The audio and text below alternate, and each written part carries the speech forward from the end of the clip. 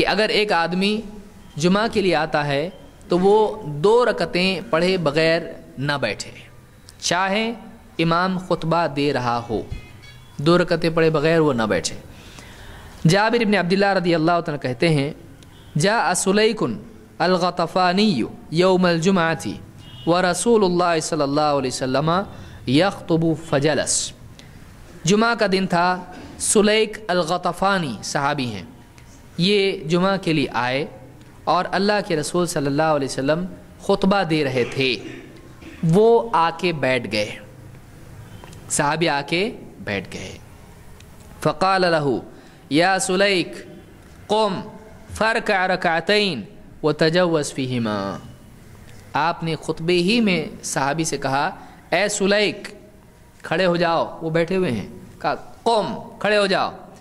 फ़र्क रकातैन। दो रकतें अदा करो। दो रकतें अदा करो। व तजवस फ़ीहिमा और मुख्तसर पढ़ना। तजवज़ हल्की पढ़ना, ज़्यादा लंबी मत पढ़ना। सुम काल, फिर कहा इदा जा अहदुकुम यौमलजुमती वल इमाम यख्तुब फलियर का रकातनी वलिय तजवस फ़ीहिमा। फिर बाकी लोगों से कहा, अब ये पहला हुक्म किसके लिए था? इंडिविजुअल के लिए था, एक शख्स के लिए था। अब आपने सारे लोगों से भी कहा, क्या कहा? जब तुम में से कोई शख्स जुमा के लिए आए और इमाम खुतबा दे रहा हो तो दो रकतें ज़रूर पढ़ ले और हल्की पढ़े। तो इससे बात मालूम, ये बुखारी और मुस्लिम दोनों में रिवायत मौजूद है। इससे मालूम होता है कि जुमा के दिन आदमी को जुमा के लिए जब वो आता है तो दो रकतें पढ़े बगैर नहीं बैठना चाहिए। चाहे इमाम खुतबा दे रहा हो।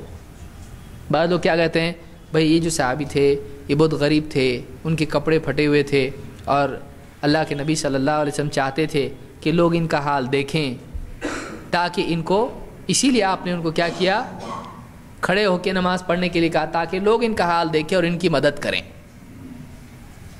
इतना दूर आप सल्लल्लाहु अलैहि वसल्लम ने यहाँ पर उनको जो कहा वही बात सारे लोगों से कहा तो अब कौन किसको सदका देगा?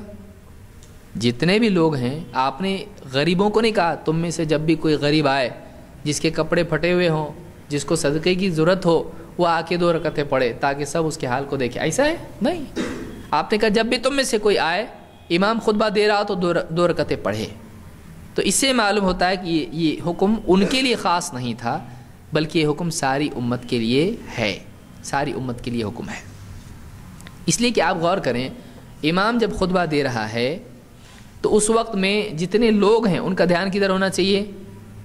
इमाम की तरफ़। अब आप उनको खड़ा कर रहे हैं नमाज़ पढ़ने के लिए और आप खुतबा दे रहे हैं, और आप क्या चाह रहे हैं, वो आपका खुतबा सुने या उनको देखें? सोचने की चीज़ है। तो खुतबे में उनकी तरफ़ लोग ध्यान दें या खुतबे की तरफ़ ध्यान दें? तो ये ये बात ही सही फिट होती नहीं है। सही बात यही है कि सारे लोगों के लिए इसमें यह कि अगर कोई आदमी मिसाल के तौर पर मस्जिद में आता है और गलती से बैठ जाता है, फिर उसको याद आता है दो रखत नहीं पढ़ा मैंने। फिर गए बैठ गया ना, अब क्या होता? सही है? नहीं। वो साहब ही बैठे थे या खड़े थे? बैठे थे। तो आपने बैठे हुए को क्या किया? खड़े हो जाओ। और फिर पढ़ने के लिए कहा, मालूम हुआ कि ये चीज़ इतनी अहम है कि ये चीज़ छूटनी नहीं चाहिए। यानी पूरे खुतबे में एक आदमी से आप कह रहे हैं, मालूम हुआ कोई मामूली चीज़ नहीं है। बेहतर चीज़ ये कि आदमी अब इसके लिए, चलो हदीस पे अमल करेंगे। कैसा? खुतबे के लिए बाहर ठहरेंगे, खुतबा चालू हुआ, फिर जाएँगे। ताकि इस सुन्नत पे भी अमल हो। ऐसा है? नहीं है। बल्कि किसी की मजबूरी से देरी हो जाए। लेकिन ये कि एक आदमी ज़बरदस्ती देरी करे, ये गलत है। पिछली हदीसों में आप सुन चुके, जितना जल्दी आएगा, उतना उसके लिए ज़्यादा सवाब है।